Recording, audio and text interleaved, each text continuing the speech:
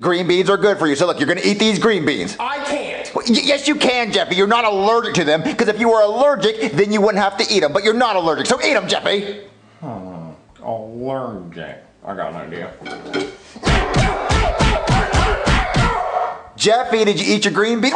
Jeffy, where'd you go, Jeffy? Maybe he went to his room, Marvin. Jeffy, you are so grounded for not eating your green beans. Jeffy, what happened to you? Yeah, Jeffy, what happened? I was trying to take a bite of green beans and then my face started hurting.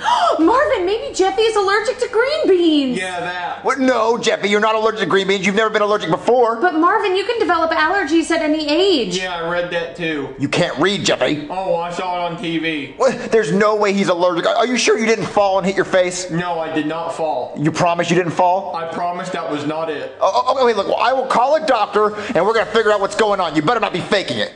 Hey there, somebody call a doctor? Yes, doctor, we tried to feed Jeffy green beans and his face looked like that. What'd you beat the shit out of him for not eating his green beans? Yeah, he does it all the time. Not this time. Not this time? Look, I put a plate of green beans in front of Jeffy. I walked away, I came back, and he looked like that. What happened, kid? Did you fall down? No, I promise that was not it. We think it might be an allergic reaction. Well, it doesn't look like an allergic reaction. It looks like somebody hit him in the face with a baseball bat.